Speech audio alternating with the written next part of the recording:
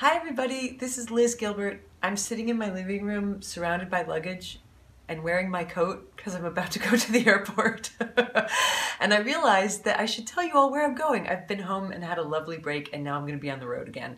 And I thought I should take time to let you know so you can come and see me if you're in any of the cities where I'm going to be over the next few months. So, here's where I'm going to be. First of all, Australia and New Zealand. Australia, New Zealand, I'm coming to see you. I will not need this coat.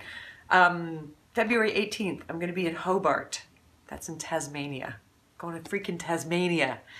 On the 25th, I'm going to be in Brisbane, 25th of February.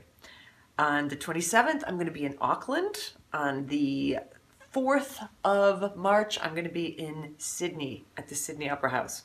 Then I come back to the States and January, February, March, April. April 3rd, I'm going to be in Warren, Michigan. Uh, on April 5th, I'm going to be in Tallahassee, Florida. On May 5th, I'm going to be in Denver, Colorado. On May 10th, I'm going to be in Dallas, Texas, actually Richardson, Texas. And on the 13th of May, I'm going to be in Hartford, California. Hartford, California, not a place. Hartford, Connecticut. I'm going to be in Hartford, Connecticut. And um, on the 27th and 28th, I'm going to be the 27th, 28th of May. I'm going to be in Carlsbad, California at the Chopra Center for Wellbeing doing an event there.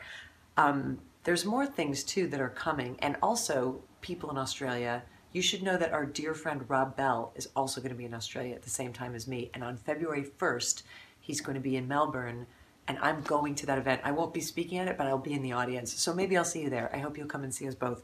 Um, sorry this is so disorganized, but as you can see, I got stuff going on and I'm excited and I hope you'll come. And now I gotta go. Bye. Thank you.